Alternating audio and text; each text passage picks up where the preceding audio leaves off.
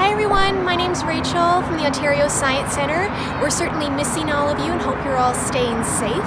I'm here to talk to you about something that you can do at home, from your own backyard, from your balcony, or even from your window, and that is be a citizen scientist. I'm going to show you one of the apps that you can use today, and it is a NASA app called Globe Observer. So you can download it on your phone and it has a lot of different projects. Today we're going to look at globe clouds. Put in that you want to do a new cloud observation and it's going to ask you things like what is the date today? So it might actually automatically fill that in for you.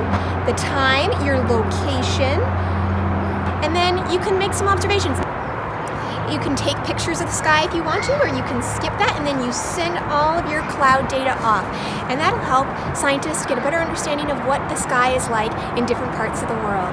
From me and all of us at the Ontario Science Centre, I hope you enjoy becoming a citizen scientist.